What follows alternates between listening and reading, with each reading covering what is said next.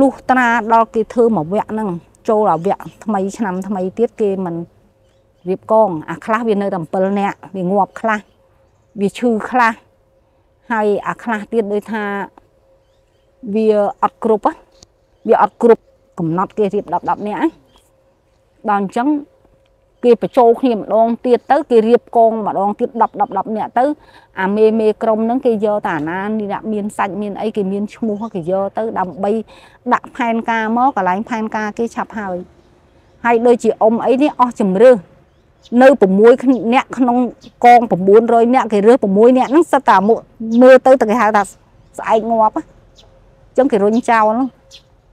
រូបភាពហ្នឹងអ៊ំអត់ដែលទេបើដែលថាខ្សឹបគ្នាណែអានេះគេយកទៅហើយថ្ងៃនេះហ្នឹងហើយគេហៅទៅប្រជុំអញ្ចឹងច្រើនតែបាត់ខ្លួនហើយគេហៅដូចគេឲ្យការមេគេមកថាអឺអឺអឺអានេះឲ្យមិត្តមិត្តមិត្តនេះឈ្មោះនេះគេចុចពីពីពីពីពួកអីគេក្តាប់អានឹងប្រវត្តិរូបយើងឆ្លើយពីភូមិទៅតាំងពីជំនាន់យើងគេប្រមូលទៅមុនដំបូងនោះគេឲ្យសម្ដែងការស្មោះត្រង់ ចាអាណាកូនអាណាអាណាឈ្មោះអីអាណាឪធ្វើអីធ្វើអីគេកត់ហើយតាំងពីនឹងម៉េះហើយខ្ញុំខ្ញុំវាចេះឆ្ងល់ហើយពុកខ្ញុំប្រាប់ថាណែដែលយើងត្រូវប្រមាដាក់វត្តរូបឲ្យដូចគ្នាដូចលួនខ្ញុំអ្នកគង់អីសើម៉ូគ្នាហើយតិចឆ្លើយម្ដងចេះម្ដងចុះទោះបីគេខឹងគេវាយយ៉ាងណាអីក៏ដោយគឺឆ្លើយឲ្យដូចគ្នាបើគេសាកបើគេមិនសាកទេហើយទៅព្រោះអីខ្ញុំឆ្លាតអញ្ចឹងប្រាប់បងប្អូនអញ្ចឹង យើងមិនថាអញ្ចឹងហើយយើងកុំចង់និយាយថារៀនបានថ្នាក់ប៉ុណ្ណេះទៅខំអួតគេប៉ុណ្ណោះអាហ្នឹងក៏អត់បានដែរថ្ងៃក្រោយគេគង់តែដឹងទេអញ្ចឹងត្រូវឆ្លើយឲ្យត្រង់ព្រោះខ្ញុំមិនឆ្លើយត្រង់មិនបើមីមីមួយធ្វើមេពីភូមិទៅវាដើរកត់វត្តរូបប៉ុន្តែអ្នកមេមេមួយទៀតគឺគាត់នៅឃុំបកូឯឈ្មោះបងនីបងនីហ្នឹងគាត់ក៏រៀនបានច្រើននៅសាលាដែរតែគាត់ធ្វើមេនារីមុនដំបូងតែមេស្រុកណាធ្វើនៅស្រុកមិនទាន់បងអាយមក អញ្ចឹងគាត់ដើរកត់ឲ្យគាត់និយាយព្រោះណាព្រោះថាឲ្យយើងនឹងគួរថាស្មោះត្រង់នឹងអង្គការហ្មងណាអាណាមិនថាអញ្ចឹងណាព្រោះអីយើងដឹងថាស្រុកមកនេះវិញតែអ្នកខ្លះឆ្ងល់ឆ្លើយអត់ត្រង់ដែរតែក៏ត្រង់មិនត្រង់គឺមិនត្រង់រហូតដោយថាយើងធ្លាប់ចេះទេតែជាងចង់បានអាអាប្រភេទអឺល្អហើយយើងអត់ដឹងថាប្រភេទល្អភេទអីភេទអីទេឆ្លើយត្រង់ត្រង់ត្រង់គ្រប់តែគ្នាហ្នឹងហើយខ្ញុំ ឆ្លើយត្រង់ក៏វាដឹងដែរព្រោះវានៅរៀនជាមួយខ្ញុំកោកកាមីមេតាមភូមិហ្នឹងណាហ្នឹងហើយបានតែខ្ញុំហ្នឹងវានៅអញ្ចឹងរហូតអត់មានផ្លេចទេហើយ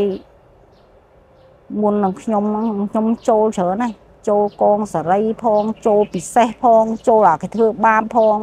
គេយកទៅប្រុសចោលផងគឺខ្ញុំមកឆ្លងកាត់ច្រើនជាងគេបាត់តែខ្ញុំនៅឃុំតែខ្លួនខ្ញុំមិនអាចដឹងថាគេនឹង ច្បាស់លាស់ក្នុងឃុំខ្ញុំអាខ្ញុំដឹងថាបាត់អ្នកណាអ្នកណាអ្នកណានិយាយច្រើនអ្នកណាចេះដឹងច្រើនគេរៀបចំឲ្យដូចខ្ញុំថាអញ្ចឹងកងប្រភេទ5កង51តំណាក់អាតំណាក់ប្រជាជនសពសាទហ្នឹងអាប្រជាជន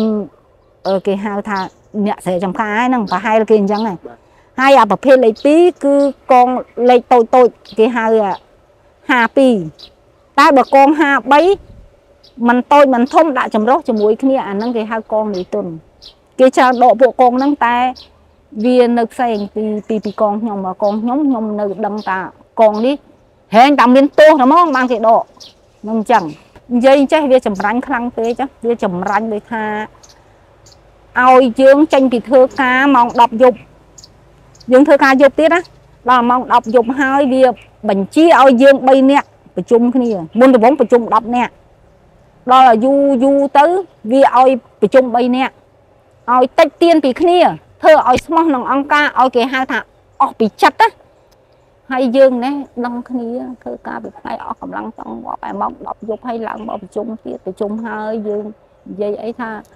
យើងនិយាយគ្នាដឹងហើយព្រោះយើងអ្នករៀនបានប៉ុណ្ណឹងប៉ុណ្ណឹងណាប្រជុំទៅហើយវាវាងុយដេកវាទៅស្លាប់មុនបាត់ទៅណាដេកចូលរួមបាត់ទៅមេក្រុមយើងគេឲ្យតាមដានយើងនេះហើយយើងកាន់តែឆ្ងល់ថា ចុះមិនក៏តាមដានដល់3ណាប្រជុំអីទៅឆ្ងល់អង្គការអង្គការឡើងធុញខ្ញុំហើយពេលប្រជុំថ្ងៃ10ថ្ងៃ20ហ្នឹងថ្ងៃ30គឺវាប្រជុំប្រជុំទាំងមូលមកកងចល័តហ្នឹងហ្មងវា900ជាងអ្នកក្នុងឃុំហ្នឹង